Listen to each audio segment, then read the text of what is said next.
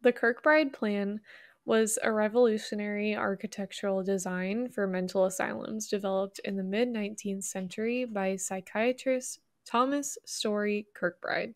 The idea behind Kirkbride Plan was to create a therapeutic environment for patients with mental illnesses, emphasizing natural light, fresh air, and green spaces.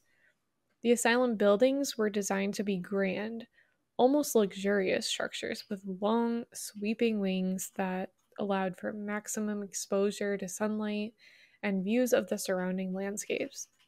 This was meant to create a sense of peace and tra- tranquility for the patients, and it was believed that the grandeur of the buildings would be calming and uplifting for them.